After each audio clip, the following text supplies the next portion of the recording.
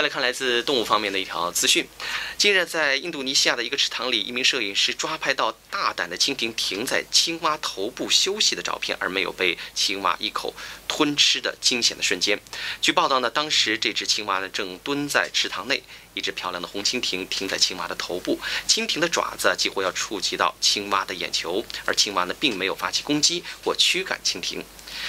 据拍摄的摄影师说呢，他呢是花了三十秒抓拍到这一惊险场景的。